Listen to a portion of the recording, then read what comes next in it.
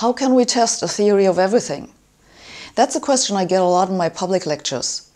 In the past decade, physicists have put forward some speculations that cannot be experimentally ruled out ever, because you can always move predictions to energies higher than what we have tested so far. Supersymmetry is an example of a theory that is untestable in this particular way. After I explain this, I'm frequently asked if it is possible to test a theory of everything, or whether such theories are just entirely unscientific. It's a good question. But before we get to the answer, I have to tell you exactly what physicists mean by theory of everything so we are on the same table. For all we currently know, the world is held together by four fundamental forces. That's the electromagnetic force, the strong and the weak nuclear force, and gravity. All other forces, like for example van der Waals forces that hold together molecules or muscle forces, derive from those four fundamental forces. The electromagnetic force and the strong and the weak nuclear force are combined in the standard model of particle physics. These forces have in common that they have quantum properties. But the gravitational force stands apart from the three other forces because it does not have quantum properties. That's a problem, as I have explained in an earlier video. A theory that solves the problem of the missing quantum behavior of gravity is called quantum gravity. That's not the same as a theory of everything. If you combine the three forces in the standard model to only one force from which you can derive the standard model, that is called a grand unified theory, or GUT for short. That's not a theory of everything either. If you have a theory from which you can derive gravity and the three forces of the standard model, that is called a theory of everything, or TOE for short. So, a theory of everything is both a theory of quantum gravity and a grand unified theory. The name is somewhat misleading. Such a theory of everything would of course not explain everything. That's because for most purposes it would be entirely impractical to use it. It would be impractical for the same reason it's impractical to use the standard model to explain chemical reactions, not to mention human behavior.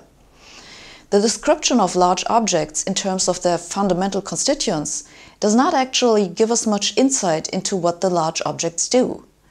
A theory of everything, therefore, may explain everything in principle, but still not do so in practice. The other problem with the name theory of everything is that we will never know that not at some point in the future we will discover something that the theory does not explain.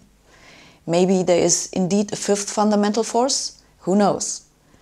So, what physicists call a theory of everything should really be called a theory of everything we know so far, at least in principle.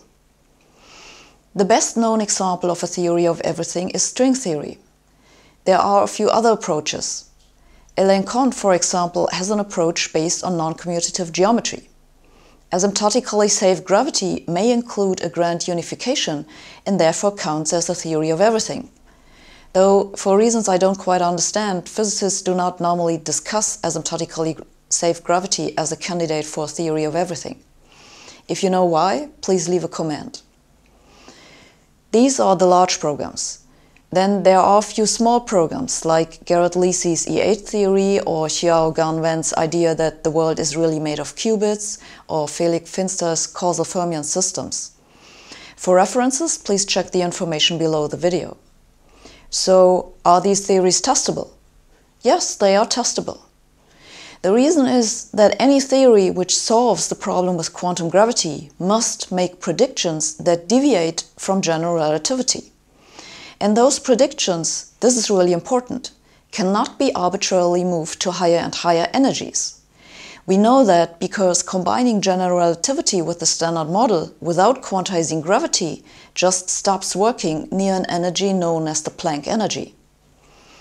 These approaches to a theory of everything normally also make other predictions. For example, they often come with a story about what happened in the early universe, which can have consequences that are still observable today. In some cases, they result in subtle symmetry violations that can be measurable in particle physics experiments. The details about this differ from one theory to the next. But what you really wanted to know, I guess, is whether these tests are practically possible anytime soon. I do think it is realistically possible that we will be able to see these deviations from general relativity in the next 50 years or so. About the other tests that rely on models for the early universe or symmetry violations, I'm not so sure. Because for these it is again possible to move the predictions and then claim that we need bigger and better experiments to see them. Is there any good reason to think that such a theory of everything is correct in the first place? No. There is good reason to think that we need a theory of quantum gravity, because without that, the current theories are just inconsistent. But there is no reason to think that the forces of the standard model have to be unified, or that all the forces ultimately derive from one common explanation. It would be nice, but maybe that's just not how the universe works. Thanks for watching. See you next week.